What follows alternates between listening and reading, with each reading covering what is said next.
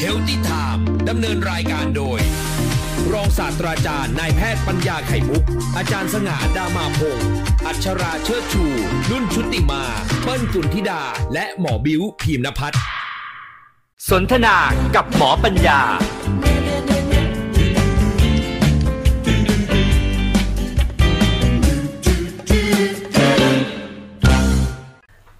สวัสดีค่ะอาจารย์ขาสวัสดี ครับตั้งเต่าครับมาแล้วครับวันนี้อากาศเริ่มสักเย็นลงอีกนิดนึงนะครับเราเจออ่าเมื่อวานที่ตั้งเต่านะค่ะแต่ว่าไงก็ตามแต่นะครับ มันยังไม่เย็นจริงสักทีเนาะใช่ แต่เขาว่าพรุ่งนี้นะครับพรุ่งนี้จะเริ่มเข้าสู่อากาศเย็นแล้วจะกทมประมาณการว่าจะลดลงองศาประมาณสักสองถึงสี่องศาเซลเซียสในกทมนะครับ ซึ่งก็ผมก็ขอให้ลดลงแค่นี้อย่าให้เยอะกว่านี้เลยคนแก่ไม่ชอบตั้งเต่าเตรียมเสื้อหนาวยังคะ โหหนูออกมาตั้งแต่ต้นหนาววันแรกๆยังไม่เก็บเข้าตู้เลยจ้ะเลยโอ้อาอากาศเย็นๆอย่างนี้ครับเสื้อหนาวก็ได้แต่มีโอกาสได้ถูกใช้สักทีนะปีหนึ่งปีหนึ่งจะอาจจะใช้ได้ที่จริงแต่คนที่อยู่เมืองเหนือเนี่ยกับทางอีสานทางเหนือเหนือนะครับ ก็จะใช้ได้บ่อยๆเพราะอากาศจะเย็นกอนใครแต่ทางกลางกลางกลางเหมือนพวกเราเนี่ยครับภากลางก็จะนานๆใช้ที แต่ท่านฟังก็คงจะต้องเตรียมให้คุณพ่อคุณแม่ อากงอาม่าได้เตรียมตัวไว้ก่อนนะครับ เพราะคนแก่เขารับความเย็น สถานเย็นสถานร้อนสถานหนาวซ้ำไปซ้ำมาคนแก่จะไม่ค่อยชอบนะงั้นท่านเป็นฟังก็เตรียมไว้เลยถ้าไม่ดีจับท่านสวมไว้เลยนะครับอุ่นไว้ก่อนดีกว่าสำหรับคนที่สูงวัยนะครับ และเด็กๆด้วยอืมอุ่นไว้ก่อนดีกว่านะครับนะครับ เข้าสู่เรื่องที่เราจะพูดคุยกันวันนี้สัปดาห์นี้นะครับ ที่เราบอกไว้ว่าจะพูดเรื่องสบายๆฟังสบายๆ และส่วนใหญ่แล้วจะเกี่ยวเรื่องของการกิน เพื่อต้อนต้อนรับฤดูการฉลองปีใหม่นะครับปีใหม่ก็จะมีการกินเลี้ยงกันบ้าง นัดเพื่อนฝูงไปจะจะเจอกันบ้างมีปาร์ตี้กันบ้าง กินที่มันมีอะไรที่แปลกๆหลายอย่างคุณฟังครับ เหตุผลก็เพราะว่า คนเรามันอยู่ได้ด้วยการเติมพลังงานเข้าไป เติมวัตถุดิบเข้าไป ในร่างกายร่างกายก็นำไปย่อย ซึ่งระบบกระเพาะอาหารจะเป็นการจัดการให้ แล้วก็ดูดซึมเข้าไปใช้โดยแช่สายลำไส้เล็กส่วนต้นๆกระเพาะอาหารลำไส้ย่อยย่อยย่อยเสร็จแล้วก็ดูดซึมผ่านผนังของลำไส้เล็กเข้าไป แล้วร่างกายก็จะนำไปใช้โดยอาศัยเลือดเราเนี่ยครับ เป็นตัวนำพา โปรตีนคาร์โบไฮเดรตไขมันต่างๆที่ย่อยเสร็จแล้ว เป็นโมเลกุลเล็ก ๆ แล้วเนี่ยครับ จะพาไปไหลไปอาบไปทั่วบะทั่วร่างกายไอ้ว่าไหนต้องการสารใด ๆ เป็นเฉพาะเจาะจง ตัวเองชอบนักหนา เมื่อสารเหล่านี้ทำท่าจะวิ่งผ่านตัวเอง อย่างเช่น สมองค่ะสมองที่ต้องการออกซิเจนเราก็รู้อยู่แล้วขาดไม่ได้นะครับออกซิเจนเนี่ยสมองต้องการใช้มากเลยเพราะจะต้องการให้มันไบรท์ให้มันคิดอะไรต่างๆได้คล่องแคล่วว่องไวตัดสินใจได้รวดเร็ว และในการทำงานไปสักพักหนึ่งร่างกายมีการสึกหรอไป เซลล์สมองมีการซ่อมแซมตัวเองด้วยนะครับ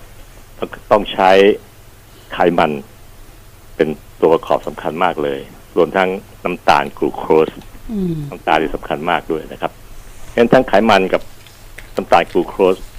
เมื่ออยู่ในกระแสเลือด พอเลือดวิ่งผ่านสมองเซลล์สมองที่มีหน้าที่ในการเฝ้าต้องจับดูก็จะเฝ้าระวังเลยครับ พอกลูโคสผ่านมาก็จะ pick up เข้ามา หยิบจับ เอาไว้ตามที่ตัวเองต้องการขนาดแค่ไหนก็จับไว้เลยไขมันมาก็จะจับไว้ ออกซิเจนมาก็จะจับไว้ส่วนสารอื่นๆที่ร่างกายไม่ค่อยชอบนักนะครับ ก็ใช้วิ่งผ่านไปเลย ไม่เอาไว้ไม่ชอบ หรือเอาไว้แค่พอเหมาะพอดีเอาเป็นว่าอื่นก็เหมือนกันครับดังนั้นการที่ท่านจะต้องกินอาหารที่ดี เพื่อเข้าสู่ร่างกายแล้ว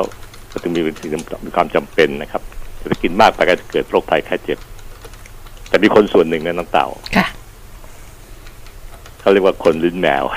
นี่นี่นี่นี่เลยนี่เลยอาจารย์ ตั้งแต่เกิดมาเต่าเพิ่งเคยได้ยินว่า ลิ้นแมว ปกติเราจะได้ยินคำว่า ลิ้นจระเข้อาจารย์ใช่ใช่ลิ้นจระเข้ที่ฟังกันคุ้นหูเลยแหละเพราะมันโอ้โหครับประเภทชอบกระเหมือบเคี้ยวแรงๆทานได้ทุกอย่างอะ ลิ้นจระเข้ครับ อะไรขวางหน้าไม่เหลือซากเลยแล้วก็จัดการหมดเลย แต่ลิ้นแมวเนี่ยครับใช้สอนกันในวิชาแพทย์ด้วยนะอ๋อเต่าก็นึกว่าเต่าก็นึกว่า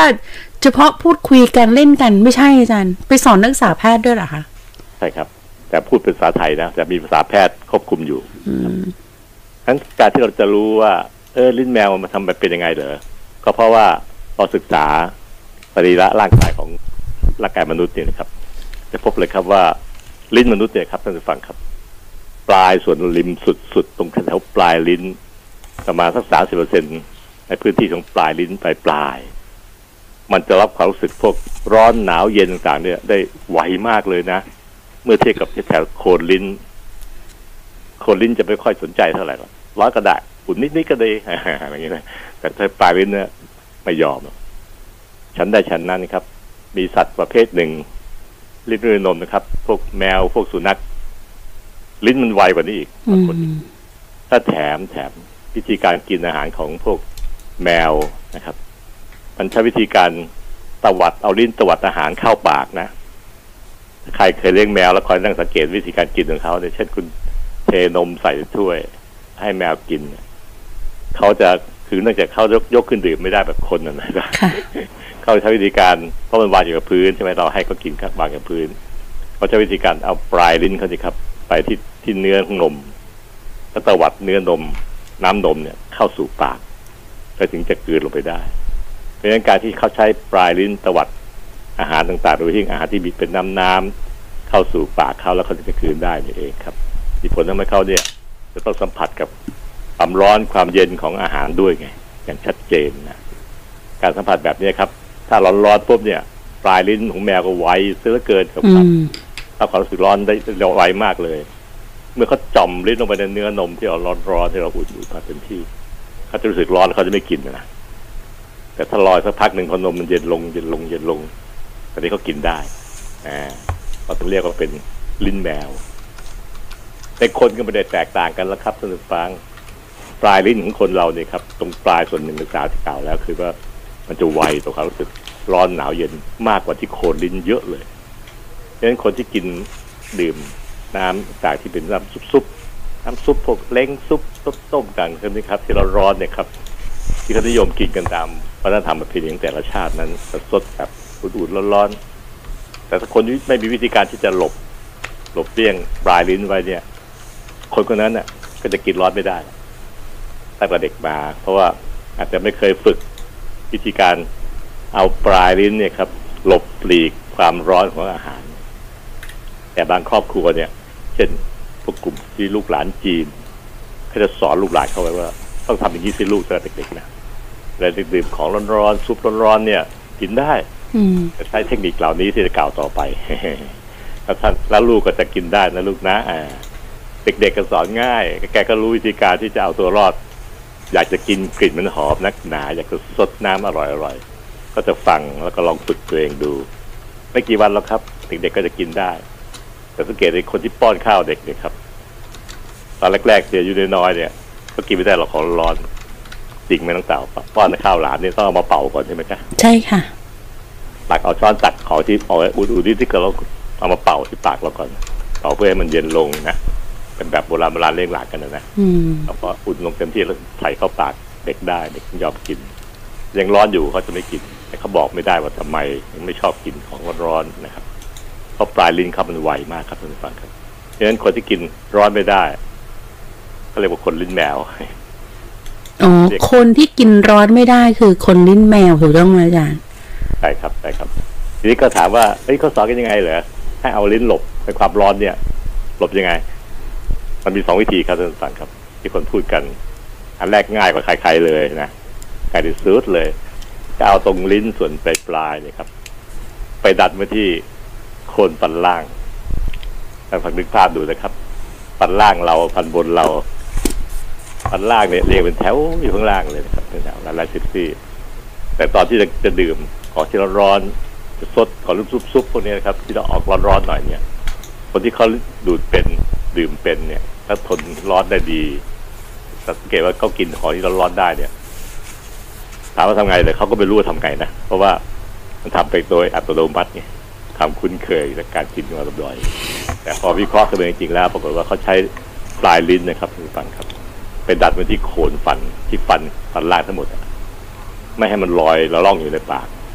มันจะได้ไม่มีโอกาสสัมผัสกับซุปร้อนๆมากนัก ขนาดพอทนได้ พอกลืนเสร็จไอ้คำที่กลืนเสร็จปั๊บลิ้นถึงได้เพเยอขึ้นมาถึงอยู่ในช่องปากต่อไป ไม่ไปอยู่นิ่งไปจุกแน่นอยู่ที่ที่ฟันล่างอย่างเดียว ต่อเข้าใจไหมครับนี่หนูกำลัง หนูกำลังทำตามอย่างที่อาจารย์บอกทำไปด้วยคือเอาลิ้นเนี่ย แตะแตะกับฟันด้านล่าง ข้างในด้านล่างถูกต้องไหมอาจารย์ใช่ครับเนี่ยขอเป็นแมววันหนึ่งนะคุณผู้ฟังเนี่ยกำลังทำอยู่คนทำอย่างนี้ทั้งนั้นเลยครับ แต่เราไม่รู้เราทำไงไงอืมเราคุ้นเคยทำด้วยความเคยชินเคยชินนะเป็นสัญชาตญาณเลยทีเดียวแล้วว่าจะกินข้าวของร้อนๆเราจะเอาลิ้นไปซุกไว้ตรงแถวพื้นที่จะฟันล่าง ไม่ให้มันมาลองลอยล่องในปากเพราะมันงั้นจะสัมผัสน้ำซุปที่ร้อนจนเกินไปเราจะรู้สึกร้อนจัดเกินไปเพราะปลายลิ้นเราเนี่ยครับรับความรู้สึกร้อนหนาวเย็นเนี่ย ได้แรงมากไวมากทีเดียว เอาใหม่นะครับ เอาใหม่วิธีที่สองเป็นวิธีที่ชาติเพื่อนบ้านเราเขาทำกันนะคนญี่ปุ่น คนจีนจะกินน้ำซุปที่มีเพราะอาหารเข้าเป็นอาหารเส้นครับ เดี๋ยวใช้เส้นนะเส้นโซบะเส้นก๋วยเตี๋ยวเส้นใหญ่เส้นเล็กเนี่ยเขามักจะทำเป็นอาหารที่มีน้ำซุปผสมอยู่ในจานเดียวกันเลยกินเส้นไปด้วยกินน้ำซุปไปด้วยในตัวเอง ที่เรียกว่าก๋วยเตี๋ยวก๋วยเตี๋ยวเนี่ยแหละครับจะเป็นก๋วยเตี๋ยวแบบไหนก็แล้วแต่จะพัฒนากันไป แต่เวลาซดน้ำซุปเนี่ยเขาใช้วิธีการ เราพูดว่าเมื่อสัปดาห์ที่แล้วนะครับ ว่าจะซดกับซูดดังๆซูดดังๆไม่มีประโยชน์ยังไงเลยครับมีประโยชน์ก็คือที่เก่าเก่าสัปดาห์ที่แล้วแล้วคุณแยกกล่าวว่ามันจะอร่อยขึ้นนะ เพราะว่าลมมันจะซูดเอากลิ่นอาหารเข้าไปสู่ในโคนคอโคนลิ้นเราแล้วก็เราก็เป่าออก เพราะว่าหายใจเข้าเราต้องหายใจออกมนุษย์เนี่ยนะครับ ตอนหายใจออกมันจะพาเอากลิ่นของอาหารเนี่ยผ่านช่องจมูกซึ่งเป็นตัวรับกลิ่นที่เก่งที่สุดแล้วธรรมชาติสร้างมาจมูกก็จะรับกลิ่นอาหาร และกลิ่นอาหารที่หอมกลุ่นนี่เองครับ ก็จะทำให้เราอร่อยมากขึ้น การใช้วิธีซูดเขาก็บอกอธิบายว่าได้ประโยชน์หลายอย่างเลยหนึ่งคืออาหาร น้ำซุปจะอร่อยขึ้นเพราะได้รับทั้งรสที่ลิ้นและรสที่จมูกด้วยได้กลิ่นประกอบด้วย แต่ผมยัดคำนี้ไว้เมื่อสัปดาห์ที่แล้วผมไม่ได้พูดถึงนะครับเพราะจะเตรียมไว้พูดตรงหัวข้อกินร้อนได้นี่แหละเพราะเวลาเราซูดปุ๊บเนี่ยครับท่านผู้ฟังน้ำซุปมันจะไหลผ่านลิ้นที่ปลายปลายๆผ่านบายพาสผ่านข้ามไปเลย เหมือนนักกระโดดกระโดดข้ามสิ่งกีดขวางอะค่ะกีฬาพวกนักกระโดดข้ามอืมข้ามรั้วเห็นไหมครับ กระโดดข้ามไปเลยนะอืใช่มไหมการที่เรามีแบบนี้ครับ มีผลทำให้น้ำซุปมันวิ่งผ่านปลายลิ้นข้ามไปเลยไปลงที่ใกล้ๆโคนๆลิ้นแล้วก็กลืนเลยดังการกินแบบให้มันซู้ดังๆ ก็เป็นอีกอันหนึ่งซึ่งมีวัฒนธรรมของหลายชาติที่เขาใช้วิธีนี้ ในการสอนลูกสอนหลานเขาแต่ถ้าเป็นแบบแบบลูกหลานไทยๆเนี่ยมันจะสอนให้เอาลิ้นไปดันฟันล่างไว้ ตอนเด็กๆนะ แต่พอโตเขาก็ทำเป็นอัตโนมัติทำชินจนท่านไม่รู้ ท่านฟังก็คงไม่รู้เหมือนกันนะครับ ว่าท่านใช้วิธีไหนในการหลบเพื่อกินของที่ออกจะอุ่นๆ ร้อนๆซดซดซุปได้ ก็คือหนึ่งเอาปลายลิ้นไปดันไปที่ฟันล่างอืมหรือสองซดให้มันดังซูดไปเลยอืมให้มันกระโดดข้ามปลายลิ้นไปเลย น้ำร้อนรสซุปจะได้ผ่านไป แล้วก็เราจะไม่รู้สึกร้อนมากนักเพราะไปโดนโคนลิ้นเนี่ยประสาทสัมผัสเรื่องความร้อนเนี่ยครับ มันจะไม่ค่อยไวเท่าปลายลิ้นละอืมนี่คือคำอธิบายนะครับ ว่าทำไมร่างกายมนุษย์นั้นถึงพัฒนาแบบนี้ แต่ก็มีความคล้ายคลึงกับสัตว์บางประเภทที่คล้ายๆกับกลุ่มในกลุ่มเดียวกันคือสัตว์เลี้ยงลูกด้วยนมนะครับ ก็จะดูเจ้าสารคล้ายๆกันเช่นแมวเป็นตัวอย่าง ก็เลยไปตั้งชื่อคนลิ้นแมวกินร้อนไม่ได้ แต่ฝึกสักพักก็กินได้ทุกคนแหละครับเพราะทุกคนจะมีวิธีการเฉพาะตัวเองอยู่แล้ว ที่เราสอนกันเนี่ยสองท่านี่นะครับ ซูดดังๆผ่าปลายลิ้นไปเลยหรือว่าเอาลิ้นเป็นหลบ หลบเจ้าซัมซุปร้อนๆซะก่อนแล้วมันผ่านเข้าไปนะครับอืมมันจะเกิดขึ้นโดยอัตโนมัตินะอาจารย์พอเวลาความร้อนเข้ามาในปากเราหรือว่าซดน้ำแกงร้อนๆเนี่ยอาจารย์เนาะอืมบางทีมันเกิดขึ้นโดยอัตโนมัติ เราไม่รู้หรอกว่าลิ้นเราหลบหรือว่าลิ้นเรากระดกไปซ้ายขวาหรืออะไร ขอให้ความร้อนมันผ่านนี่ไปเร็วๆ อาจารย์ด้วยความเคารพบางสิ่งบางอย่างที่เรากินเข้าไป ถ้าร้อนมากเนี่ย เคยนะอาจารย์ ทนไม่ไหวต้องคายออกมาเออคือมันลวกลิ้นลวกแก้มไปหมดเลยบอกอุ้ยตายแล้วรีบคายออกมา เคย หนูก็เคยอาจารย์ อันนี้ร้อนจัดเกินเนาะเออ ร้อนหนักเกินแล้วก็มีวิธีการที่จะตัดเข้ามาว่าเป่าปากไงครับ ตักใส่ช้อนซะก่อนไปซดตั้งชามนะแต่วิวิธีของคนไทยก็ทำกันนะเอาเอาช้อนที่มันลึกๆหน่อยตักน้ำซุปขึ้นมาให้ได้คำโตๆ แล้วก็ถือรอสักพักหนึ่งเป่าปากเป่าผ่านผ่านลมนะครับผ่านปากผ่านไป มันก็จะระบายความร้อนได้ดีมากกว่าทั่วๆไป ก็จะเย็นลงเร็ว ก็กินได้นะครับ ถามมาตอบได้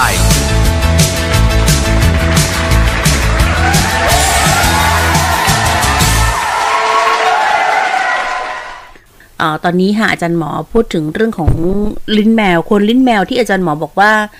เป็นคนที่กินร้อนไม่ค่อยได้ รวมถึงคนที่กินเผ็ดไม่ค่อยได้ด้วยหรือเปล่าคะอาจารย์ อ่าคำตอบนี้คำตอบที่ดีมากเลยครับท่านฟังคนละแบบกันครับท่านฟังครับ เหตุผลที่ว่า ต่อมที่รับรสเผ็ดเนี่ยนะครับรสหวานรสมันรสเผ็ดรสเปรี้ยวเนี่ย มันใช้ที่มันอยู่ที่ลิ้นเราเนี่ยครับ แต่ว่าคนละอันกับลิ้นที่รับความร้อน แต่ลิ้นมนุษย์เนี่ยครับ รับความร้อนไว้คอยป้องกันเรานะ เพราะว่าไม่งั้นถ้าเราไม่มีต่อมนี้ที่ที่ไวมากๆเนี่ย บางทีคนจะกินของที่มันร้อนจนเกินไป มันเข้าไปลวกเยื่อบุในคอเราได้ถ้าเกิดเป็นปัญหาในการที่ปากอักเสบได้ ร่างกายถึงสร้างระบบการเตือนภัย ว่าร้อนแล้วนะพี่อย่ากินเข้าไปนะแต่มนุษย์ก็หาวิธีการจนได้ คือเอาลิ้นไปหลบซะอืมอ่าหรือว่าซดให้มันดังซุดซูดให้มันบายพาสข้ามปลายลิ้นไปซะไปลงที่ให้น้ำซุปไปลงที่โคนลิ้น มันจะได้ไม่ร้อนมากเกินไป เห็นไหมครับว่าคนเนี่ยฉลาด แต่แมวมันไม่มีทางแก้คิดไม่เป็นว่าต้องแก้วิธีนี้ แมวก็เลยจนปัญญาจนกระทั่งกลายเป็นหัวข้อชื่อว่าลิ้นแมวนี่แหละเพราะแมวมันคิดไม่ออกว่า จะต้องกินยังไง เพื่อจะหลบ ลิ้นในไอ้ความร้อนพวกนี้ครับ อย่างหนึงคือเขาเขาไม่สามารถจะยกขึ้นซดได้ไงเขาก็เลยต้องเอาลิ้นไปสัมผัสกับมันโดยตรง เพื่อตวัดอาหารเข้าปาก แมวจึงมีความแพ้เปรียบมนุษย์หลายอย่างอืมโดยยิ่งวิธีการคิดค้นคว้าหาวิธีการหลบหลีกอุปสรรคต่างๆ เนี่ย แมวคิดไม่เก่งไม่เก่งเท่ามนุษย์นะอันนี้คือประเด็นสำคัญที่แสดงออกว่ามนุษย์นั้นเลอเลิศกว่าสัตว์ชนิดอื่นในโลกนี้นะครับ อืม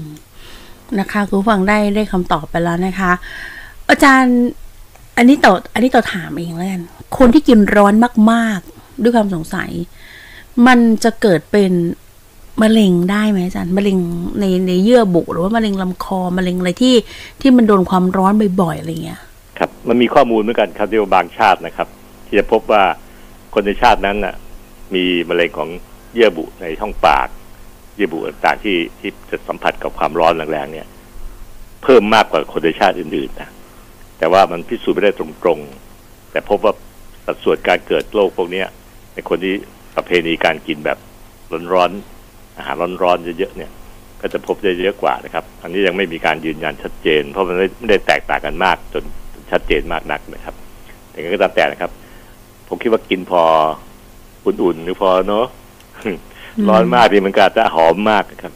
เพราะว่าซูดเข้าไปดังๆ ก็จะพบว่ามันมันกลิ่นหอมมันช่วยเยอะ ตอนที่อาหารร้อนๆเนี่ย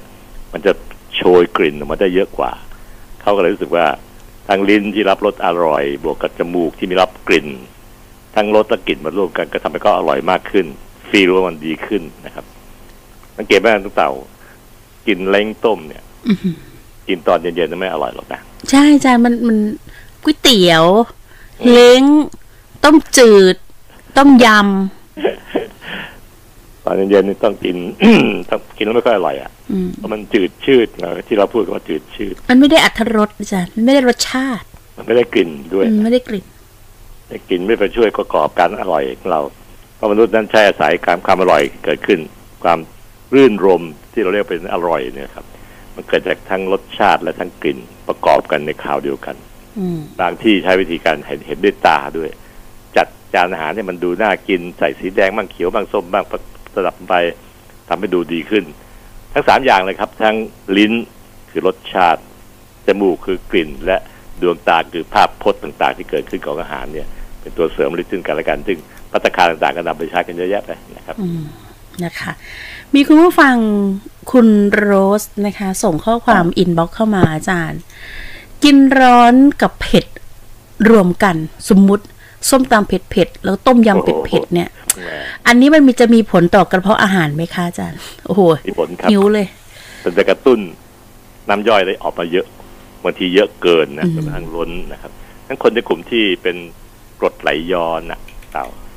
คุณหมอก็ถึงห้ามไงไม่ให้กินพวกเผ็ดจัดจัดๆร้อนจัดจัดๆหรือเปรี้ยวจัดจัดๆเพราะทั้งสามรสชาติเนี่ยครับมันกระตุ้นน้ำย่อยให้ออกมาเยอะเกินไป นั่นหมายความไปกระตุ้นให้กรดในกระเพาะออกมาเยอะตามไปด้วย ก็จะเกิดโรคกรดไหลย้อนตามไปด้วยนั่นเองนะครับเพราะฉะนั้นอ่าการอธิบายพวกนี้คือการอธิบายจากสรีระร่างกายของมนุษย์เนี่ยครับว่ามันทำงานยังไง อะไรไปกระตุ้น อะไรไปเบรกมันบ้างนะครับ อันนี้คือประเด็นสำคัญในการนำมาป้องกันโรคนะครับ อืมงั้นแสดงว่าทั้งร้อนทั้งเผ็ดเนี่ย ก็ดับเบิลเป็นสองเท่าเลยที่จะมีผลกับกระเพาะถูกต้องไหมอาจารย์ใช่ครับ แล้วก็จะมีผลต่อพวกลำไส้ต่างๆด้วย อ่าการการย่อยอาหารก็จะทำงานลำบากขึ้นแต่บางคนก็คุ้นชินนะครับ โดยเฉพาะบางบางภาคของประเทศไทยเนี่ยเขากินแบบ ถ้าไม่เผ็ดเลยเนี่ยไม่อร่อยแน่นอนอืมอืมอืมคุ้นเคยนะอันนี้คือสิ่งที่ร่างกายเขาจะปรับตัว ปรับตัวชดเชยให้ ถึงกินเผ็ดมากน้อยแค่ไหนก็ตามแต่เขาก็ยังรู้สึกเฉยเฉยๆแค่แค่มากอร่อยนะครับ แต่ถ้าเรื่องร้อนเนี่ยครับ มันเจาะจงเฉพาะที่ปลายลิ้นเท่านั้นนะที่อื่นร่างกายเนี่ย มันสามารถรับได้ถ้าถ้ากินกระปับเข้าไปแล้วนะครับอืมนะก็ก็อย่าให้ร้อนจนเกินไป หรือ อย่าให้เผ็ดจนเกินไป เพราะแน่นอนฮะ มันจะมีผลต่อลำไส้แล้วก็กระเพาะ มีคุณผู้ฟังท่านนี้นะคะ บอกว่าถ้าเราดื่มโซดาเพียวๆซ่าที่ลำคอบ่อยๆ อันนี้เสี่ยงเป็นมะเร็งลำคอไหมฮะอาจารย์อ๋ออันนี้ไม่เป็นไรหรอกครับ เพราะมันมันนี้น้อยนิดหน้อย เพราะว่าความซ่านะครับ เกิดจากการที่คือพวกโซดาเนี่ยท่านฟังเขาก็จะทำผลิตน้ำที่มีรสชาติของโซดาขึ้นมาก่อน แล้วก็ใช้เครื่องปั๊ม ดันแก๊สคาร์บอนไดออกไซด์เข้าไปใส่ในพวกพวกอ่าเครื่องดื่มเหล่านี้ครับอืมแก๊สมันจะแทรกซึมไปในในในในช่วงน้ำในน้ำนั้นนะในน้ำก็ทำให้เกิดเป็นฟองอากาศฟองแก๊สอยู่ในน้ำนั้น แล้วก็ใส่ไว้ในขวดแก้ว ขวดที่อัดลมแน่นๆนะครับ ปิดจุกให้แน่นเป๊ะเลยรักษาเพรสเชอร์ของพวกแก๊สเหล่านั้นไว้ในน้ำน้ำเครื่องดื่มนั้นให้ได้ค่ะ พอเราเปิดฝามันดังพิวอืมสังเกตไหมดังแบบเสียงแบบลมมันดันออกมา ตรงนี้ครับ คือแก๊สที่มันอัดไปแล้ว มันสลายตัวออกมา ก็ดันให้เกิดเสียงดังขึ้นได้ตอนที่หมุนฝาเกลียวนะครับพวกนี้ครับคือสิ่งที่เรียกว่าโซดาโซดานั่นแหละถ้ามันจะเกิดการระคายเคืองในช่องปากบ้างนิดหน่อยเพราะมันเป็นแค่แก๊สไม่ไม่ใช่ไม่ใช่เป็นสารอาหารที่มีความร้อนร้อนๆหรือเย็นเย็นๆหรือเผ็ดเผ็ดๆนะครับ ก็จะกระตุ้นน้อยกว่าเยอะเลยอืมพวกทานได้หรอกครับไม่มีไม่มีข้อมูลทางการแพทย์ว่าจะมีปัญหากับเรื่องของการเปลี่ยนแปลงของเซลล์เรานะครับ แต่ว่า ประเด็นคือว่าเรากินแก๊สพวกนี้เข้าไปเยอะๆมันไม่ได้สลายออกหมด เรากลืนเข้าไปเร็วๆมันก็ทำให้เกิดแก๊สในท้องในกระเพาะเรามากขึ้นตามไปด้วยเพราะแก๊สนี้มันต้องสลายออกให้หมดนะครับเราอัดเข้าไปด้วย pressure ด้วยความดัน แต่พอเราคลาย pressure ออกโดยการเปิดจุกขวดเนี่ย แก๊สตัวนี้ก็พยายามที่จะสลายตัวไปเป็นแก๊สธรรมดาธรรมดาของมันนะครับ คือแก๊สคาร์บอนไดออกไซด์ในโซดานะครับอืมคุณผู้ฟังลองสังเกตไหมฮะเวลาเรากินโซดา หรือว่ากินเครื่องดื่มที่มีโซดาอ่าผสมอยู่เนี่ย สักพักมันจะรู้สึกว่าเลอนะอาจารย์เรอออกมาใช่หรือหรือผายลมออกมาเงี้ยนะครับคือลมที่มันมันอัดไว้ในน้ำนั่นแหละครับ เราต้องการเป็นแค่ความซ่าจากการที่แก๊สมันระเหยออกมาเนี่ยครับขยายตัวคืนกลับเนี่ย ที่เราอัดเข้าไปเนี่ย มันจะเกิดความรู้สึกซ่าซ่ารสซ่าอย่างเงี้ยครับในในรสชาติเครื่องดื่มเป็นการปรุงแต่งความรู้สึกฟิลลิ่งเราเองว่าให้มันรู้สึกซ่าซ่าอืมนะคะคุณผู้ฟังท่านนี้ค่ะ จากสี่หกแปดเก้าแปดเก้าเก้าผมอายุห้าสิบสองครับ น้ำหนักเจ็ดสิบสามสูงหนึ่งร้อยเจ็ดสิบห้าครับตรวจพบว่ามีไขมันสูงเกินมาหนึ่งปีละ คุณหมอก็ให้ทานยาลดไขมัน นัดตรวจทุกสามเดือน ผมออกกำลังกาย คุมอาหาร ผลตรวจล่าสุดนะคะปรากฏว่าไขมันอยู่ในเกณฑ์ปกติ ผมจะงดยาละ มาออกกำลังกายคุมอาหารแทนได้ไหมคุณหมอเอ่อคนคิดอย่างนี้ทั้งนั้นแหละครับ เหตุผลว่ามันมีคลิปหลายคลิปทีเดียวที่ออกมาเสนอความเห็นในเชิงที่ต่อต้านการใช้ยาพวกกลุ่ม statin เนี่ยครับอืม statin คือยาที่ใช้ในการลดไขมันเยอะแยะหมดเลยนะครับ ซึ่งอันนี้เป็นสิ่งที่ผมคิดว่าในสังคมอะมันก็เปิดหูเปิดตา แต่จะจริงแค่ไหนนี่ต้องขออศึกษาให้ดีก่อนนะครับท่านฟังอันนี้ผมก็พูดเป็นกลางๆ เพราะว่าผมก็ไม่สามารถจะไปเข้าข้างไหนได้ เหตุผลก็คือว่าฝ่ายที่บอกว่าไม่ดีกินไอ้พวกนี้ยาลดไขมันเป็นอันตรายนู่นนี่นั่น มีการปวดกล้ามเนื้อมีการอะไรหลายอย่างนะครับก็เพราะว่ามันเป็นฤทธิ์ของยามันเองนะครับ ซึ่งจะปรับตัวไปสักพักหนึ่งก็จะอาการอะไรก็จะหายไปได้เอง โดยที่ไม่เกิดอันตรายกับร่างกายมากนะครับคำคัดคือถ้าเราสามารถเปลี่ยนยาตัวอื่นที่มีฤทธิ์คล้ายๆ กันอยู่นะครับ ก็จะสามารถใช้ได้โดยไม่มีอาการเหล่านี้ด้วย แต่ผลดีมันเยอะมากนะครับท่านผู้ฟัง นอกจากจะลดไขมันแล้วเนี่ย มันจะมาช่วยเผาผลาญพลังงานแต่ละอย่างในร่างกายที่เป็นตัวที่มีปัญหาจะเกิดสะสมต้องนึกดูครับว่าถ้าเกิดไขมันมันอยู่ในร่างกายท่านเยอะแล้วมันไปจับที่หลอดเลือดโดยที่หลอดเลือดสมอง หลอดเลือดหัวใจ ผลตามมาคือชีวิตท่านนะครับมันเอาชีวิตทีเดียวนะครับ แต่การใช้ยาพวกกลุ่มลดไขมันเนี่ย มันช่วยป้องกันชีวิตท่านเลยนะครับอืมมันแลกกันด้วยชีวิต ยาตัวนี้ครับแลกกันด้วยชีวิตคือป้องกันการเป็นโรคแรงแรงๆเช่นอัมพฤกษ์อัมพาตหัวใจขาดเลือดต้องทำบอลลูนทำไปพาสหรือช็อกไปเลย ถ้าทำไม่ทันเพื่อเทียบกับการที่เราเนี่ยจะสามารถจะควบคุม ปริมาณไขมันในร่างกายได้ ลดไขมันต้องได้ แล้วชีวิตเราอยู่ไปถึงแปดสิบเก้าสิบปีโดยที่ไม่ไม่มีโรคพวกนี้แทรกเข้ามา ไม่ติดเตียงไม่เป็นโรคพวกนี้ครับผลของการที่มันไปช่วยในการปรับการเผาผลาญพลังงานของไขมันได้อย่างดีมากด้วย เนี่ยโรค NCD ที่เคยพูดกันถึงว่าคนตายเยอะต่อปีค่ะก็ก็เป็นตัวที่ลดด้วยตัวตัวนี้ครับ ที่ใช้ช่วยในการลดมันถึงขนาดบางที่บางสถาบัน หมอบางคน พูดว่ายาตัวนี้ครับ เป็นยาอายุวัฒนะอืมเพราะในเชิงป้องกัน มันเป็นป้องกันโรคที่มันเอาตายอะค่ะเอาตายนะครับอัมพฤกษ์อัมพาตเนี่ยครับนอนติดเตียงแล้วก็เสียชีวิตไปอ่าหัวใจขาดเลือดและอื่นๆอีกหลายอย่างนะครับ ไม่ผมพูดทุกอย่างเฉยๆแค่นั้นเองอืมมันคุ้มมากอะแต่เทียบกับการที่ว่าว่า ก็ปวดกล้ามเนื้ออะไรกันครับ ซึ่งเป็นฤทธิ์ยาบางคนกินแล้วไม่มีอาการก็มีนะครับค่ะกินอาการนะครับ ก็อีกสักสองสามเดือนร่างกายจะคุ้นชินแล้วก็จะหายไปได้ หรือคุณหมอได้สปอนเร็วก็คือเปลี่ยนยี่ห้อยาตัวใหม่ เป็นยากลุ่มนี้เหมือนกันนะครับท่านผู้ฟังแต่ว่าอืมมีเจ็ดแปดตัวที่ในท้องตลาดเนี่ยเป็นพี่ๆน้องๆเลี้ยงๆรุ่นๆมาเนี่ยครับแล้วร่างกายเราจะไม่ตอบสนองในในเชิงที่มีการปวดกล้ามเนื้อด้วยอะไรเงี้ยค่ะก็เป็นเป็นสิ่งที่เราใช้ในการแก้ไขปัญหาพวกนี้ขึ้นนะครับอืมซึ่งอันนี้ผมก็ ถ้าถ้าฟังดูข้อมูลแล้วครับ น้ำหนักที่ที่เกิดขึ้นในใจของคนเราเนี่ย จะสามารถชั่งหนักเทียบได้นะครับ นอกจาก ถ้าไม่เอาความกลัว จากคำพูดของคนที่ไม่รู้ต้นสายปลายทางของเขาว่าเขามีความรู้แค่ไหน เอามาเป็นตัวที่จะเอ่อทำให้เราสับสนนะครับอืมถ้าเราพิจารณาดูว่ามันเดิมพันด้วยอะไรกันแน่ค่ะยาตัวนี้มันเดิมพันด้วยชีวิตถึงนะอืมอืมกับโรคภัยร้ายๆที่เราจะเอาชีวิตเราได้ มันเดิมพันด้วยตรงนี้ครับเพียงแต่ว่ามันเป็นการที่เราไม่เห็นชัดเจนเพราะเราไม่รู้พวกนี้นั่นเองนะครับ ค่ะ อย่างอย่างผู้ฟังท่านนี้ที่บอกว่าถ้าจะงดยาแล้วออกกำลังกายอย่างการงดยาของคุณผู้ฟังท่านนี้เนี่ย ต้องอยู่ภายใต้การดูแลของคุณหมอไหมคะมันอยู่ที่ภายใต้จิตใจคนนั้นคนเดียวนะครับอืมถ้าจะมีจิตใจในการที่จะจะลุงตัวเองให้ทรงการควบคุมอาหารได้นั่งได้แค่ไหน อย่าลืมนะครับว่ามันคุมยากไอ้พวกเนี้ย พฤติกรรมมันเปลี่ยนแปลงยากมากนะท่านฟัง เพราะขณะที่ท่านไขมันท่านลดลง ไม่ใช่เพราะร่างกายท่านดีขึ้นนะครับ แต่เพราะมันอยู่ในการควบคุมของยาตัวนี้อืมนะเป็น actionของยาทำให้ไขมันคุณลดลง เพราะถ้าคุณถอดยาไปปั๊วการดูแล control มันก็จะไม่มี คุณกลับไปสภาพที่ไขมันสูงเหมือนเดิม แล้วคุณจะสามารถจะปรับพฤติกรรมคุณได้ เป๊ะเป๊ะได้แค่ไหนกันแน่ ครับเพราะถ้ามันขึ้นมาครั้งที่สองเนี่ยมันจะขึ้นแรงด้วยนะครับ ค่ะร่างกายมันถูก กดไว้นานอย่างต่างๆนะค่ะพอปล่อยพรวดมันก็เลยฟูครับอืมนี่ก็เรียกว่า rebound ค่ะในทางการแพทย์ก็เรียกว่า rebound สนทนากับหมอปัญญา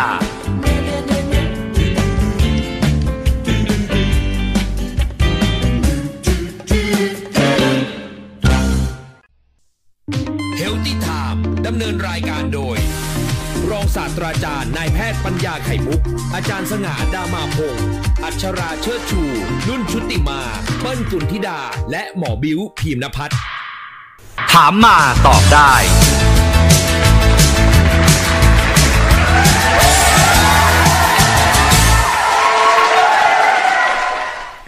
อาจารย์ อันนี้ต่ออันนี้ต่อถามเองแล้วกันคนที่กินร้อนมาก ๆ ด้วยความสงสัย มันจะเกิดเป็น มะเร็งได้ไหมอาจารย์มะเร็งในในเยื่อบุหรือว่ามะเร็งลำคอมะเร็งอะไรที่ที่มันโดนความร้อนบ่อยๆอะไรเงี้ยครับมันมีข้อมูลเหมือนกันครับที่ว่าบางชาตินะครับ ที่จะพบว่าคนในชาตินั้นน่ะ มีมะเร็งของเยื่อบุในช่องปาก เยื่อบุต่างๆที่ที่จะสัมผัสกับความร้อนแรงๆเนี่ย เพิ่มมากกว่าคนในชาติอื่นๆนะแต่ว่ามันพิสูจน์ไม่ได้ตรงๆ แต่พบว่าสัดส่วนการเกิดโรคพวกนี้ในคนที่ประเพณีการกินแบบร้อนๆ อาหารร้อนๆเยอะๆเนี่ย ก็จะพบได้เยอะกว่านะครับ อันนี้ยังไม่มีการยืนยันชัดเจน เพราะมันไม่ได้แตกต่างกันมากจนชัดเจนมากนักนะครับ แต่ก็ตามแต่นะครับ ผมคิดว่ากินพออุ่นๆหรือพอเนาะร้อนมากดีมันก็อาจจะหอมมากนะครับ เพราะว่าซูดเข้าไปดังๆ ก็จะพบว่ามันกลิ่นหอมมันช่วยเยอะ ตอนที่อาหารร้อนๆเนี่ย มันจะโชยกลิ่นออกมาได้เยอะกว่า เขาก็เลยรู้สึกว่าทางลิ้นที่รับรสอร่อย บวกกับจมูกที่มีรับกลิ่น ทั้งรสและกลิ่นมารวมกันก็ทำให้ก็อร่อยมากขึ้นฟีลว่ามันดีขึ้นนะครับสังเกตไหมทุกเต่า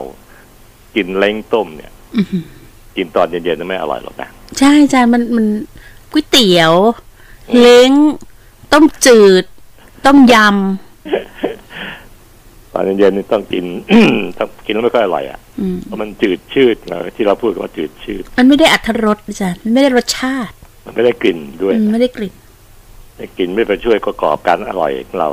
เพราะมนุษย์นั้นใช้อาศัยการความอร่อยเกิดขึ้น ความรื่นรมที่เราเรียกเป็นอร่อยเนี่ยครับ มันเกิดจากทั้งรสชาติและทั้งกลิ่นประกอบกันในคราวเดียวกันอืมบางที่ใช้วิธีการเห็นเห็นด้วยตาด้วย จัดจานอาหารให้มันดูน่ากินใส่สีแดงบ้างเขียวบ้างส้มบ้างสลับไปทำให้ดูดีขึ้น ทั้งสามอย่างเลยครับ ทั้งลิ้นคือรสชาติจมูกคือกลิ่นและดวงตาคือภาพพจน์ต่าง ๆ ที่เกิดขึ้นของอาหารเนี่ย เป็นตัวเสริมฤทธิ์ซึ่งกันและกันซึ่งพัตตาคารต่างๆก็นำไปใช้กันเยอะแยะไปนะครับอืมนะคะ มีคุณผู้ฟัง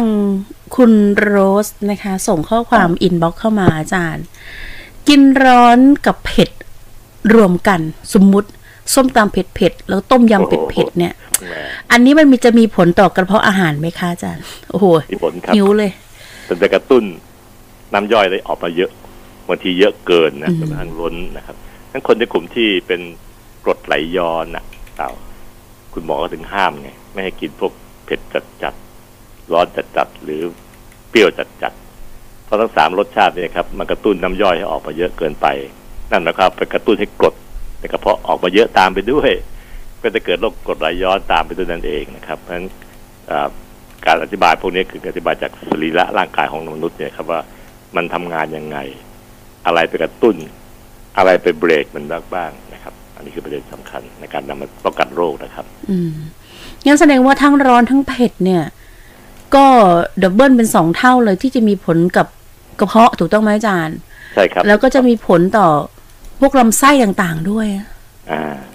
การการย่อยอาหารก็จะทำงานลำบากขึ้น แต่บางคนก็คุ้นชินนะครับ โดยเฉพาะบางบางภาคของประเทศไทยเนี่ยเขากินแบบถ้าไม่เผ็ดเลยเนี่ยไม่อร่อยแน่นอนอืมอืมอืมคุ้นเคยนะ อันนี้คือสิ่งที่ร่างกายเขาจะปรับตัว ปรับตัวชดเชยให้ ถึงกินเผ็ดมากน้อยแค่ไหนก็ตามแต่เขาก็ยังรู้สึกเฉยเฉยแค่แค่มากอร่อยนะครับ แต่ถ้าเรื่องร้อนเนี่ยครับ มันเจาะจงเฉพาะที่ปลายลิ้นเท่านั้นนะที่อื่นร่างกายเนี่ยมันสามารถรับได้ถ้าถากินกระปับเข้าไปแล้วนะนะก็ก็อย่าให้ร้อนจนเกินไป หรืออย่าให้เผ็ดจนเกินไป เพราะแน่นอนฮะ มันจะมีผลต่อลำไส้แล้วก็กระเพาะ มีคุณผู้ฟังท่านนี้นะคะ บอกว่าถ้าเราดื่มโซดาเพียวๆซ่าที่ลำคอบ่อยๆ อันนี้เสี่ยงเป็นมะเร็งลำคอไหมฮะอาจารย์อ๋ออันนี้ไม่เป็นไรหรอกครับ เพราะมันมันนี้น้อยนิดหน่อย เพราะว่าความซ่านะครับ เกิดจากการที่คือพวกโซดาเนี่ยท่านฟังเขาก็จะทำผลิตน้ำที่มีรสชาติของโซดาขึ้นมาก่อน แล้วก็ใช้เครื่องปั๊มดันแก๊สคาร์บอนไดออกไซด์ เข้าไปใส่ในพวกพวกอ่าเครื่องดื่มเหล่านี้ครับอืมแก๊สมันจะแทรกซึมไปในในในในช่วงน้ำในน้ำนั้นนะในน้ำก็ทำให้เกิดเป็นฟองอากาศฟองแก๊สอยู่ในน้ำนั้น แล้วก็ใส่ไว้ในขวดแก้วขวดที่อัดลมแน่นๆนะครับ ปิดจุกให้แน่นเป๊ะเลยรักษา pressure ของพวกแก๊สเหล่านั้นไว้ในน้ำน้ำเครื่องดื่มนั้นให้ได้ค่ะพอเราเปิดฝามันดังพิวอืมสังเกตไหมดังแบบเสียงแบบลมมันดันออกมา ตรงนี้ครับ คือแก๊สที่มันอัดไปแล้ว มันสลายตัวออกมา ก็ดันให้เกิดเสียงดังขึ้นได้ตอนที่หมุนฝาเกลียวนะครับผวกนี้ครับคือสิ่งที่เรียกว่าโซดาโซดานั่นแหละถ้ามันจะเกิดการระคายเคืองในช่องปากบ้างนิดหน่อยเพราะมันเป็นแค่แก๊สไม่ไม่ใช่ไม่ใช่เป็นสารอาหารที่มีความร้อนร้อนหรือเย็นเย็นหรือเผ็ดเผ็ดนะครับ ก็จะกระตุ้นน้อยกว่าเยอะเลยอืมพวกทานได้หรอกครับไม่มีไม่มีข้อมูลทางการแพทย์ว่าจะมีปัญหากับเรื่องของการเปลี่ยนแปลงของเซลล์เรานะครับ แต่ว่า ประเด็นคือว่ากินแก๊สพวกนี้เข้าไปเยอะๆมันไม่ได้สายออกหมด เรากืนเข้าไปเร็วๆ มันก็ทำให้เกิดแก๊สในท้องในกระเพาะเรามากขึ้นตามไปด้วย เพราะแก๊สนี้มันต้องสลายออกทั้งหมดนะครับ เราอัดเข้าไปด้วย pressure ด้วยความดัน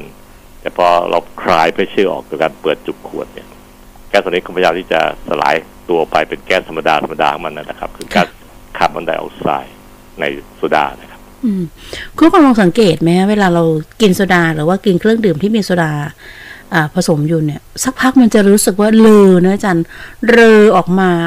ใช่หรือหรือผายลมออกมาเงี้ยนะครับ คือลมที่มันมันอัดไว้ในน้ำนั่นแหละครับ เราต้องการเป็นแค่ความซ่า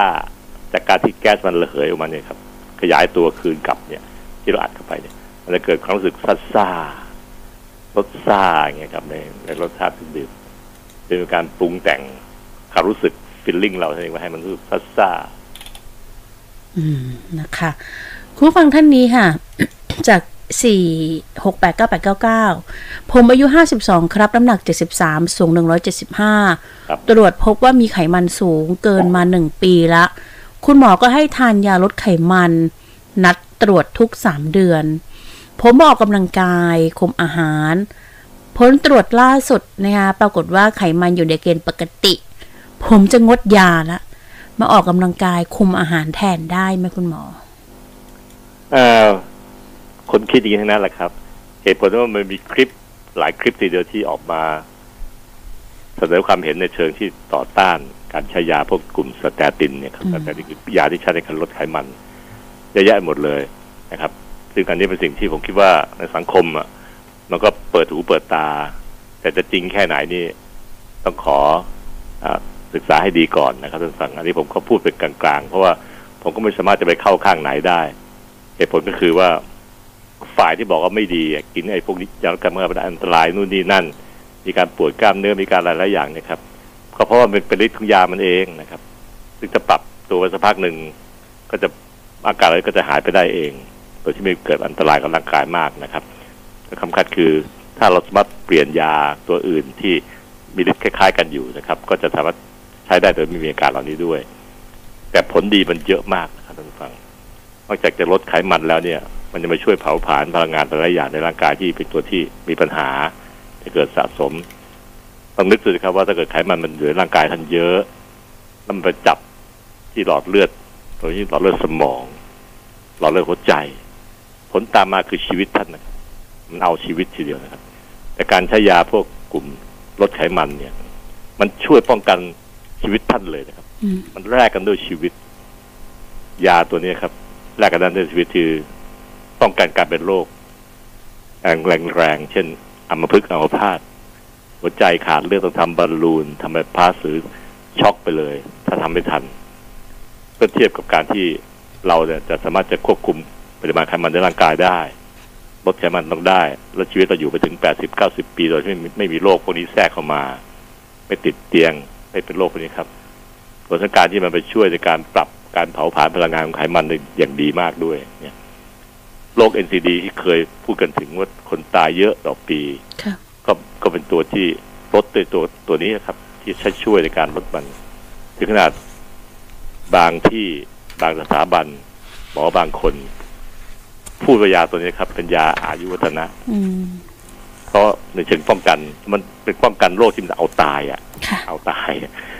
นะครับอัมพฤกษ์อัมพาตเนี่ยครับนอนติดเตียงแล้วก็เสียชีวิตไปอ่าหัวใจขาดเลือดและอื่นๆอีกหลายอย่างนะครับไม่ถึงพูดทุกอย่างเฉยๆแค่นั้นเองอืมมันคุ้มมากอะแต่เทียบกับการที่ว่าว่าก็ปวดกล้ามเนื้ออะไรกันครับซึ่งเป็นฤทธิ์ยาบางคนกินแล้วไม่มีอาการก็มีนะครับค่ะกินอาการนะครับ ก็อีกสักสองสามเดือนร่างกายจะคุ้นชินแล้วก็จะหายไปได้ หรือคุณหมอได้สปอนเร็วก็คือเปลี่ยนยี่ห้อยาตัวใหม่ เป็นยากลุ่มนี้เหมือนกันนะครับท่านผู้ฟังแต่ว่าอืมมีเจ็ดแปดตัวเดียวในท้องตลาดเนี่ยเป็นพี่ๆน้องๆเลี้ยงๆรุ่นๆมาเนี่ยครับ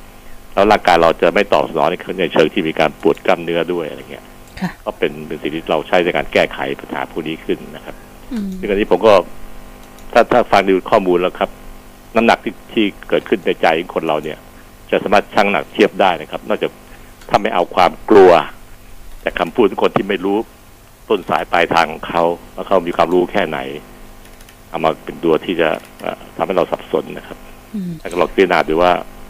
มันเดิมพันด้วยอะไรกันแน่ค่ะยาตัวนี้มันเดิมพันด้วยชีวิตใช่ไหมอืมอืมกับโรคภัยร้ายๆที่เราจะเอาชีวิตเราได้ มันเดิมพันด้วยตรงนี้ครับพี่แต่ว่ามันเป็นการที่เราไม่เห็นชัดเจนเพราะเราไม่รู้พวกนี้นั่นเองนะครับ ค่ะ อย่างอย่างผู้ฟังท่านนี้ที่บอกว่าถ้าจะ งดยาแล้วออกกำลังกายอย่างการงดยาของคุณผู้ฟังท่านนี้เนี่ย ต้องอยู่ภายใต้การดูแลของคุณหมอไหมคะมันอยู่ที่ภายใต้จิตใจคนนั้นคนเดียวนะครับอืมมันจะมีจิตใจในการที่จะจะลุงตัวเองให้ทรงการควบคุมอาหารได้นั่งน้อยแค่ไหน อย่าลืมนะครับว่ามันคุมยากไอ้พวกเนี้ย พฤติกรรมมันเปลี่ยนแปลงยากมากนะท่านฟัง เพราะขณะที่ท่านไขมันท่านลดลง ไม่ใช่เพราะร่างกายท่านดีขึ้นนะครับ แต่เพราะมันอยู่ในการควบคุมของยาตัวนี้อืมนะ เป็นแอคะคชั่นของยาทำให้ไขมันคุณลดลงเพราะถ้าคุณถอดยาไปปั๊วการดูแล control มันก็จะไม่มี คุณกลับไปสภาพที่ไขมันสูงเหมือนเดิมแล้วคุณจะสามารถจะปรับพฤติกรรมคุณได้ เป๊ะเป๊ะได้แค่ไหนกันแน่ครับเพราะถ้ามันขึ้นมาครั้งที่สองเนี่ยมันจะขึ้นแรงด้วยนะครับค่ะร่างกายมันถูกกดไว้นานอย่างต่างๆนะค่ะพอปล่อยพรวดมันก็เลยฟู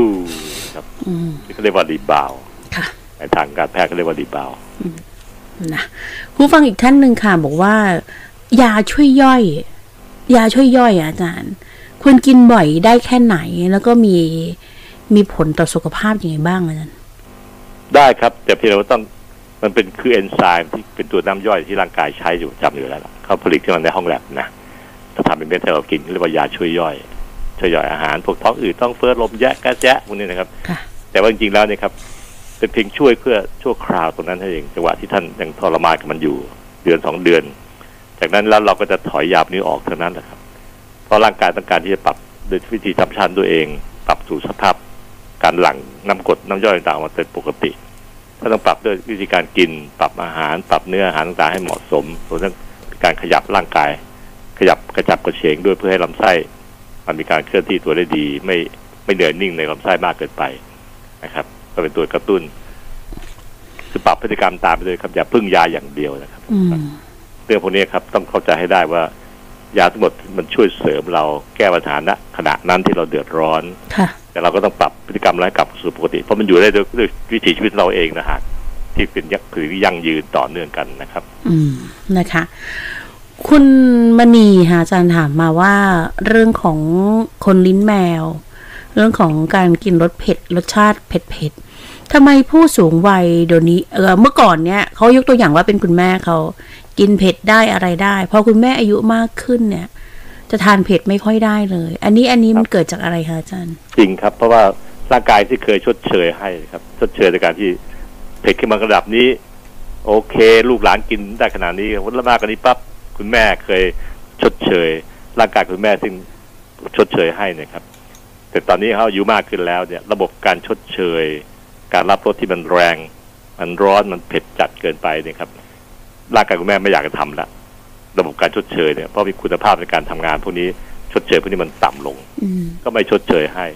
ร่างกายยังรับไม่ค่อยได้ ผลคืออายุมากขึ้นแล้วเนี่ย กินเผ็ดไม่ค่อยได้หรอกครับ จะลดลงแทบทั้งนั้นนะถ้าทุกคนเป็นธรรมชาติเลย สังเกตดูได้เลยครับว่า เคยกันเก่งกันแบบสุดๆซีซีแซบแซบพออายุมากขึ้นปั๊บ ต้องลดถึงนั้นคุณแม่คุณแม่เต่าคุณต้องลดลงมาเหมือนกันใช่ไหมรสค่ะอาจารย์เมื่อก่อนทำน้ำพริกนะต้องรสจัดต้องแบบว่าอร่อยครับหลังๆนี่ท่านก็บอกว่าแม่ทานเผ็ดไม่ค่อยได้อะไรอย่างเงี้ยอ่าเห็นไหมครับ เพราะการชดเชยร่างกายตามธรรมชาติที่มีอยู่ตอนสาวๆตอนเป็นคนอายุกลางคนเนี่ยร่างกายมันให้เราชดเชยแบบสุดโต่งเลยอะแต่พออายุมากขึ้นปั๊บมันลดไอ้จุดนี้ลง ไม่ชดเชยแล้วเอาใช้วิธีธรรมชาติของเธอดีกว่า เธอไปช่วยตัวเองแล้วกันนะปรับเรื่องอาหารก็แล้วกันอย่างเงี้ย ธรรมชาติก็มีจุดลิมิตตัวเองเหมือนกันนะครับ ว่าเอาแค่เนี้ยพอแล้วพ้นวัยนี้ฉันไม่ช่วยเธอแล้วละหมดกำลังฉันเหมือนกันอะไรอย่างเงี้ยนะครับ อืมนะผู้ฟังท่านนี้ชื่อคุณคุณอนงศักดิ์ค่ะมาแชร์ประสบการณ์เรื่องของการกินร้อนอาจารย์อ่าครับ อาจารย์ครับผมเนี่ยเคยไปทำงานที่เกาหลีอืมคนเกาหลีกินอาหารร้อนเก่งมากเลยนะครับ ผมไปกินกับเพื่อนแล้วโหเป่าแล้วเป่าอีก เพื่อนคนเกาหลีเห็นผมกินแล้วหัวเราะครับอาจารย์ใช่ครับใช่ครับเออเออเออเพราะว่า ขนาดคนญี่ปุ่นนะครับ ที่มาทำงานในเมืองไทย หรือคนญี่ปุ่นบางคนนะครับที่เคยเป็นยูทูบเบอร์ปัจจุบันเนี่ยอืมออกคลิปหลายๆอย่างเข้าไปนะครับเขาบอกกันมาเมืองไทยเขาผิดสังเกตอันเดียวคือว่าเอ๊ะทำไมคนไทยกินของที่เป็นซุปๆเนี่ย ไม่ดังฮะเออแล้วก็ไม่ค่อยยกชามขึ้นยกดื่มนะเขาเอาเป็นคลิปมาเลยนะครับ ถ้าดูคลิปของคนนักนักคนคนนักยูทูบเบอร์คนนี้นะครับ ชื่ออะไรผมจำไม่ค่อยได้ละชื่อเขาสองคำนะเป็นเด็กหนุ่มเขาบอกว่า คนไทยกินของซุปเนี่ย ไม่ยกชามขึ้นฮะแต่คนญี่ปุ่นเขากินเนี่ยเขาต้องยกชามขึ้นนะเพราะต้องการจะเทซวบไปในปาก ให้เราสูดดังซูดมันจะได้บายพาสกระโดดข้ามปลายลิ้นเราเข้าไป ไปลงที่ใกล้ๆโคนลิ้น แล้วก็กลืนเอื้อกลงไปเลย เห็นไหมครับว่าแต่ละชาติมีวิธีการเทคนิคที่แยบยลของแต่ละชาติแต่ละชาติเองนะครับ เป็นวัฒนธรรมการกินของแต่ละชาติทีเดียวอันเนี้ยอืมซึ่งถือว่าก็เป็นสิ่งที่ต้อง ให้ความเคารพนะว่าเขากินกันแบบนี้จริง ๆ แล้วเขาก็ไม่เคยมีการสำลักเลยเขาฝึกมาตั้งแต่เด็ก อาการมันก็ปิดช่องหลอดลมได้แม่นมากเลยนะครับอืมแต่ถ้าเราไปกินแบบนี้เข้ามาเนี่ย โอกาสที่เราสำลักซ้ำซุปเนี่ย มีสูงมากเลยครับเพราะผมไม่ไม่อยากเชียร์ให้กินเลยนะครับอืมกินวิธีการที่เราคุ้นเคยมาแต่เด็กแต่อ้อนออกดีกว่า ใช้ช้อนที่มันลึกๆหน่อย ตักซุปเข้าเป็นคำคำๆคำใหญ่ๆจะได้สะใจนะครับ เป่าซะก่อนก็ได้ให้มันอุ่นลงนิดหนึ่งเพราะเราคุ้นเคยแบบเนี้ยนะครับอืมอืมมีตอนไปตอนนั้นไปจีนอาจารย์เขาก็ให้ไปกินชากินน้ำซุปนี่แหละเราก็กินแบบมีไรมารยาทห้ามเสียงดังไงอืมเพื่อนชาวจีนบอกนี่อยู่ต้องกินแบบดังออๆเจ้าของเขาจะรู้สึกว่ามีความสุข เจ้าของคนทำเขาจะได้รู้สึกว่า เฮ้ยของเขาอร่อยนะอะไรอย่างเงี้ยเออเออครับวัฒนธรรมเป็นวิธีการที่ออกเชื่อถือนะมาตั้งแต่อ้อนจะออกครับแล้ว มันก็สิงอยู่ในใจเราไปตลอดวัฒนธรรมของชาตินั้นก็เป็นแบบนั้น ชาตินี้ก็เป็นแบบนี้นะครับ อืมนะคะ คุณผู้ฟังชื่อว่าคุณชัยยศค่ะ ถามมาทาง Facebook บอกอายุ 70 สูง 165 หนัก 43 ค่ะอาจารย์ มีอาการภูมิแพ้ คุณหมอก็ให้ยาแก้แพ้มา แล้วก็ยาพ่นจมูก ลดการอักเสบมา ทีนี้เภสัชกรก็แนะนำว่าถ้าไม่มีอาการเนี่ยให้หยุดยาซะ แต่ยาพ่นเนี่ยให้ใช้จนหมด ต้องพ่นนานกว่าจะหมด คือคุณลุงท่านนี้มีความกังวลว่า มันจะมีปัญหาอะไรไหมถ้าต้องพ่นจนยาหมดค่ะอาจารย์ คืออย่างนี้นะครับพี่ครับร่างกายมนุษย์เนี่ยครับเมื่อก่อภูมิแพ้ขึ้นแล้วเนี่ยครับสารต่างๆที่เป็นสารก่อภูมิแพ้เช่นฝุ่นละอองมักจะโดนเป็นจำเลยเสมอนะก็จะถูกโทษว่ามันจะเป็นอย่างนั้นอย่างนี้เป็นตัวเหตุกระตุ้นดังนั้นพวกยาภูมิแพ้ยากินเนี่ยครับ พอการมันวันที่ท่าน สบายขึ้นแล้วเนี่ยครับยากินที่ใช้เกี่ยวกับรักษาพวกภูมิแพ้เนี่ย จะค่อยๆลดลงได้นะเพราะร่างกายไม่ได้มีความกระตุ้นที่แรงเกินไปละแต่ว่าตัวที่พ่นเนี่ยครับ อาจจะช่วยเราไปสักระยะหนึ่งก็ไม่จำเป็นต้องใช้ให้หมดขวดหรอกครับ อันนี้ผมผมพูดตรงๆเลยนะเพราะบางทีเราหายหายแพ้แล้วเนี่ยหรืออากาศมันเปลี่ยนแปลงไปจนกระทั่งจบไปละฝุ่นละอองที่ในอากาศมันก็น้อยลงไปละบางวันที่มีลมเยอะ ก็จะพัดพาฝุ่นให้ลอยขึ้นไปท้องฟ้าได้เยอะขึ้น ก็จะตกใกล้ในใกล้ๆระดับพื้นโลกเนี่ยน้อยเตอร์เราก็ไม่จำเป็นต้องไปพ่นขนาดนั้นจนกระทั่งหมดขวดหมดขวดของยาพ่นหรอกนะครับ เอาแค่อาการเราเป็นหลักแต่ว่า มันจะหยุดช้ากว่ายากินค่ะนะครับ อืมส่วนท่านนี้อาจารย์ค่ะบอกว่าอาจารย์ อาการเริ่มแรกของคนเป็นโรคเกาต์เนี่ย มันเป็นแบบไหนครับอาจารย์ จากคุณสุรเชษฐ์ค่ะ โรคเกาต์ก็คือการที่มีกรดกรดยูริกในกระแสเลือดสูงนะครับ เกินค่ามาตรฐานเขาคือเจ็ดนะจำตัวเลขเจ็ดไว้นะครับ seven seven seven นะครับ บวกกับ ถ้ามีอาการปวดข้อร่วมด้วยถึงจะเรียกเกาต์เกาต์จึงต้องมีข้อมูลสองอันคือหนึ่งกรดยูริกในกระแสเลือดสูงเกินเจ็ดบวกกับมีอาการปวดข้อร่วมด้วย ซึ่งส่วนใหญ่มันจะเป็นข้อที่รับน้ำหนัก เช่น ข้อโคนนิ้วโป้งเท้าอะ ข้อเท้าเนี่ยแล้วก็ข้อเข่าเนี่ยเป็นตัวอย่างเพราะถ้าข้อสามข้อที่พูดถึงนี่ครับเป็นข้อที่รับน้ำหนัก เวลาเราเดินเวลาเรากระโดดโลดเต้นเนี่ยแรงมันลงที่สามข้อนี้เยอะอืมก็คืออาการโคเกานะครับเพราะอาการเริ่มต้นก็คือ มีอาการปวดปวดบวมบวมๆแล้วก็ต้องแดงแดงด้วย เกาไม่เหมือนคนอื่นนะครับโรคเกาที่เกิดจากการที่ร่างกายมีกรดจูริก เยอะไปสะสมในเยื่อเนื้อเยื่อของข้อข้อต่างเนี่ย แล้วมันจะต้องมีการกระตุ้นโดยการที่เกิดอักเสบขึ้น มันจะมีอาการแดง ปวดข้อบางชนิดเช่น ปวดจากเส้นเอ็นเนี่ยอย่างที่เราตอบคำถามอยู่เสมอๆคุณป้าคุณยายคุณพี่ บอกว่าเจ็บเส้นเอ็นเข่าด้านในด้านในด้านนอกเนี่ยพวกนี้ไม่แดงหรอกครับเชื่อผมเถอะ แค่เจ็บๆต่างๆนะค่ะแต่ถ้าเป็นเกาเมื่อไหร่นะครับ มันจะไม่ใช่อย่างนั้นหรอกครับ มันจะแดงแดงๆออกชมพูชมพูที่เนื้อเราด้วย ยิ่งถ้าเทียบกับซ้ายกับขวาปุ๊บจะจะเห็นเลยครับว่าไอ้ข้างที่เป็นเนี่ยมันออกแดงกว่าแฮะ มันฉ่ำกว่าฮะตาคนเราจะเห็นได้ครับแยกได้นะครับว่ามันฉ่ำกว่า อีแบบนี้ครับ มันจะเป็นอาการแรกๆของเกาต์นะครับค่ะปวดข้อนี่ปวดปวดตื้อเลยนะครับ ปวดไม่มีการบีบมีการหยุดอะไรกันปวดยันเลยอะแล้วบางทีปวดเยอะๆตอนกลางคืนด้วย ตอนที่เรานอนจะพักขึ้นมาเนี่ย หลับไปสักพักหนึ่งเอาแล้วมันมาแล้วนะครับแล้วก็ปวดแบบ ต้องไปหาหมอเลยครับทั้งคนไข้โรคเกาต์ที่ปวดเนี่ยมักจะไปห้องฉุกเฉินตอนดึกอ่าๆบ่อยๆนะแล้วก็อีกอันหนึ่งที่ที่มักจะพบคือ พอถามประวัติไล่ไปเมื่อตอนเย็นนี่พี่กินอะไรครับ โต๊ะจีนครับหมูกระทะครับเนี่ยมันมาเลยทีเดียว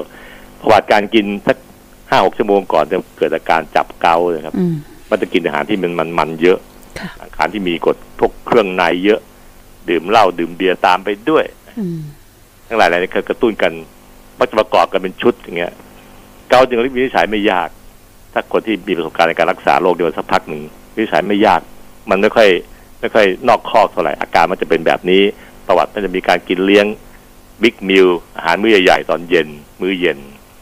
ถ้าดึกๆก็ต้องไปหาหมอเพราะปวดข้อกันมาทันทีนะครับ อันนี้คือโรคเกาต์ ปวดที่ผมว่านั่นคือ ปวดตื้อๆปวดเยอะๆแล้วก็ปวดแบบไม่เลิกเวลา ปวดยาวนะครับ ข้อที่ปวดจะมีอาการบวม แล้วก็ฉ่ำแดงอืมชมพูนะครับนะคุณผู้ฟัง มีคำถามอีกสักหนึ่งคำถามนะคะ อาจารย์ไปที่ YouTube ได้ครับบอกว่า การตื่นนอนเพื่อฉี่เกินสองครั้งต่อคืนเนี่ย ถ้าเป็นผู้ชายอาจจะตีความว่ามีอาการต่อมลูกหมาก แล้วถ้าเป็นผู้หญิงนะคะอาจารย์ สอไหมว่าบ่งบอกเป็นอะไรไหมอาจารย์ ทั้งชายทั้งหญิงบอกอย่างหนึ่งก็คือผู้ใดที่กินน้ำใกล้เวลานอนเนี่ย ใกล้มันก็ใกล้เกินสองสามชั่วโมงเนี่ย กินน้ำช่วงเนี้ยเยอะเกินไปนะครับ เพราะฉะนั้นจากทุ่มครึ่งสองทุ่มไปแล้วนะครับ พี่ๆผู้หญิงกับพี่ผู้ชายเนี่ยอายุมากแล้วเนี่ย ช่วงนี้เป็นช่วงที่เราจะชะลอน้ำลงนิดนะครับ กินแค่จิบๆพอให้มันกลั้วคอเราไม่ให้รู้สึกว่า อ่าคอแห้งจนเกินไป ถ้ากินน้ำต้องการน้ำเหงื่อเยอะอากาศร้อน มันก็ห้าหกวันที่ผ่านมาถ้ากินน้ำก่อนเวลาสักสองทุ่มน้ำเข้าร่างกายได้พอเพียงเพราะฉะนั้นถ้ากินใกล้ใกล้ใกล้เวลานอนเนี่ย มันจะกัดเป็นปัสสาวะไม่หมดไงท่านฟังเราก็นอนซะแล้วงั้นตอนดึกก็เลยเกิดเกิดการสร้างฉี่ขึ้นมาเยอะจากน้ำที่เรากินใกล้เวลานอนมากเกินไป ค่ะคนใกล้ใกล้เวลานอนถ้าเราถ้าเรากินห่างไว้พอดีนะครับ ก่อนจะหลับเนี่ยเราต้องมันถูกกันเป็นฉี่หมดแล้ว เราจึงปวดฉี่ก่อนเข้านอน จึงฉี่ก่อนก็เท่ากับเป็นการถ่ายเทที่ที่จะเกินที่เป็นฉี่เยอะๆเนี่ยออกทิ้งสักหนึ่งหนึ่งบล็อกบล็อกแรกก่อนเลยนะครับ อันนี้คือประเด็นสำคัญนะครับดังการที่เราจะต้องกินน้ำให้เหมาะสมเนี่ย เป็นวิธีการที่จะควบคุมในคนที่สูงวัยนะครับ ข้อสองก็คือว่าถ้าเป็นพี่ผู้หญิงที่ถามมาเนี่ย ก็กระเพาะปัสสาวะมีการอักเสบนิดๆหน่อยๆอยู่อืมประจำเป็นตัวที่ทำให้เกิดการฉี่เยอะ ตอนกลางคืนนะครับ ผู้หญิงฉี่เยอะเกิดจากกระเพาะปัสสาวะอักเสบผู้ชายฉี่เยอะตอนดึกก็เกิดจากการที่ต่อมลูกหมากมันโตค่ะมักจะเป็นแบบนี้เป็นส่วนใหญ่ วันนี้คำถามค่อนข้างเยอะพอสมควรนะคะ คุณสุรทสุรทัศน์ค่ะอาจารย์ครับผู้หญิงที่เขาปวดบริเวณท้องน้อย เป็นเป็นหายหายๆเนี่ยมันเกิดจากสาเหตุอะไรและต้องรักษาตัวยังไง อายุ 42 น้ำหนัก 74 ค่ะอาจารย์ อ่าอายุ 42 อายุน้อยมากนะครับ ยังเริ่มเข้าสู่ช่วงกลางๆนั่นเองนะครับ แบบเนี้ยน้องคนนี้ก็คงจะต้องดูแลเรื่องเกี่ยวกับประจำเดือนว่ามาปกติ หรือมันกระจัดกระจายยังไง หรือมันเกเรยังไงบ้าง ให้เบื้องต้นก่อนเลย เพราะในวัยขนาดนี้ครับกระเพาะปัสสาวะอักเสบเนี่ยอาจจะเกิดที่ไม่บ่อยแล้วล่ะ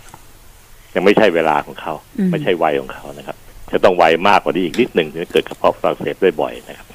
มันก็ต้องดูเรื่องเกี่ยวกับการที่ระบบสืบพันธุ์ของท่านนะครับ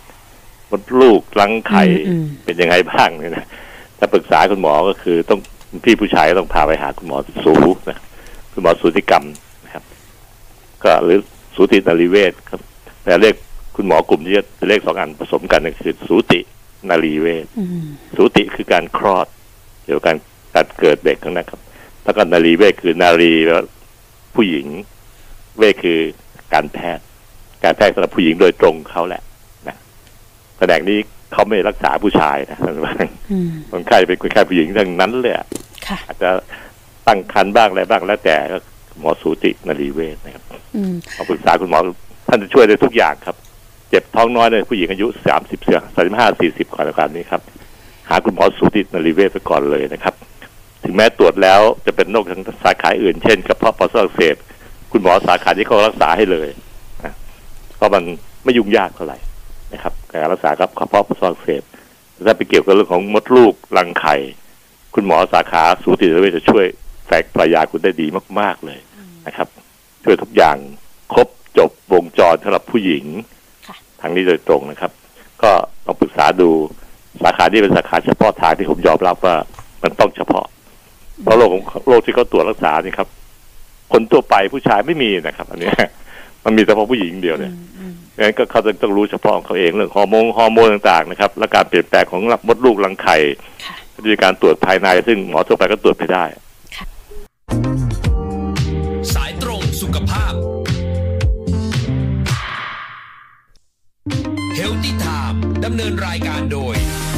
รองศาสตราจารย์นายแพทย์ปัญญาไข่มุก อาจารย์สง่าดามาพงศ์อัชราเชิดชู นุ่นชุติมา เปิ้ลกุลธิดา และหมอบิวพิมนพัฒน์